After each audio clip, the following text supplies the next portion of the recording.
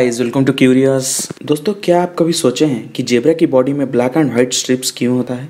यह सवाल को लेकर कई साइंटिस्ट कई तरह के पॉसिबल आंसर देते हैं। जैसे कि रिसेंटली एक रिसर्च से पता चला है कि जेब्रा की black and white stripes zebra को खून चूसने वाले पैरासिट से बचाते हैं। तो दोस्तों, चलिए आज की ये वीडियो में जानते हैं जेब्रा की बॉडी में ब्लैक एंड व्हाइट स्ट्रिप्स क्यों होता है। और आखिर जेब्रा की black and white strips zebra को पैरासाइट्स और लायन जैसे प्रेडेटर्स से कैसे बचाते हैं? If you are new to this channel then subscribe and hit the bell icon for the latest updates पहला पॉसिबिलिटीज है कैमोफ्लैग यानी डिफरेंट कलर्स या मेटल्स की कॉम्बिनेशन से इल्यूजन यानी भ्रम पैदा करना। कई साइंटिस्ट्स का मानना है कि जेब्रा की black and white strips zebra को बड़े बड़े ग्रास कवर में छुपने के लिए हेल्प करते हैं, जिससे टाइगर और लायन जैसे प्रेडेटर्स यानी शिकारियों से जेब्रा सुरक्षित रहता है, क्योंकि लायंस कॉलर ब्लाइंड होते हैं। लेकिन 2016 की एक स्टडी से पता चला है कि अगर जेब्रा कहीं ट्रीलेस हैबिटेट्स में है देन लायन जेब्रा को आसानी से पहचान सकता है। दूसरा है टेम्परेचर रेगुलेशन कई थ्योरी के हिसाब से जेब्रा की ब्लैक एंड व्हाइट स्ट्रिप्स के वजह से जेब्रा अपनी बॉडी टेम्परेचर को मेंटेन करता है। रिटायर्ड नेचुरलिस्ट एलिसन कॉप जो कि 40 साल तक जेब्रा स्ट्रिप्स को लेकर रिसर्च किए हैं, उनका मानना है कि जेब्रा की ब्लैक स्ट्रिप्स की टेम्परेचर व्हाइट स्ट्रिप्स से काफ़ी ज़्यादा होता है। 2019 में आलिसन कॉब ने प्रपोज किया है कि जेब्रा की ब्लैक एंड व्हाइट स्ट्रिप्स में टेम्परेचर डिफरेंसेस की वजह से एयर फ्लोस अच्छा होता है, जिससे जेब्रा की बॉडी में होने वाले sweats black and white strips में स्प्रेड होकर इजीली एवापोरेट होते हैं।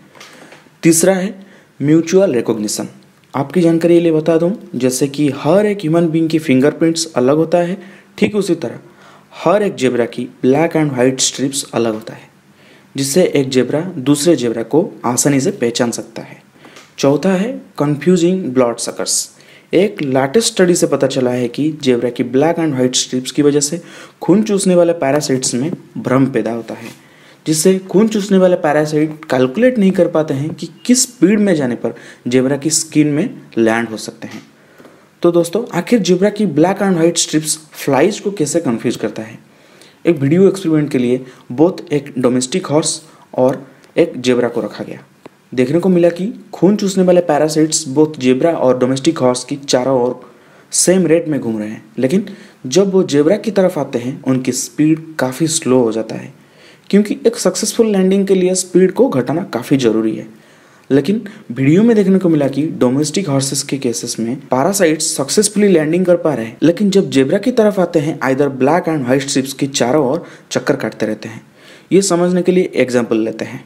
ये फिगर को देखिए, जो कि सिलेंड्रिकली अपनी वर्टिकल एक्सिस की चारों ओर रोटेट कर रहा है। मिडिल फिगर अगर आप इस फिगर को हॉरिजेंटली देखेंगे, आपको लगेगा कि ये अपवर्ड मूव कर रहा है।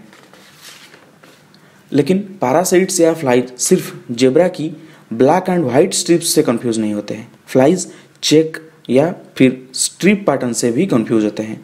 तो दोस्तों जेब्रा की स्ट्रिप्स फ्लाइज या पैरासाइट को कंफ्यूज करने के पीछे कौन से मैकेनिज्म काम करता है?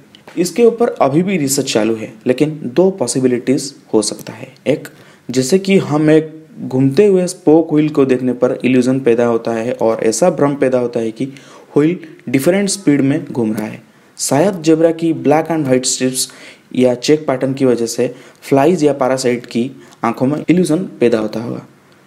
दूसरी पॉसिबिलिटीज शायद चेक या स्ट्रिप पैटर्न की वजह से एक ऑब्जेक्ट ऐसी कई सिमिलर ऑब्जेक्ट्स में ब्रेक हो जाता है, जिससे फ्लाइज और पैरासाइट की आँखों में भ्रम पैदा होता होगा। But it's still under research तो दोस्तों, आपको कैसा लगा ये जान के कि जेबरा की बॉडी में ब्लैक एंड वाइट स्ट्रिप्स होने का रीज़न क्या है? अगर आपको वीडियो अच्छा लगा then like share with your friends and don't forget to subscribe to my channel thank you for watching this video till the end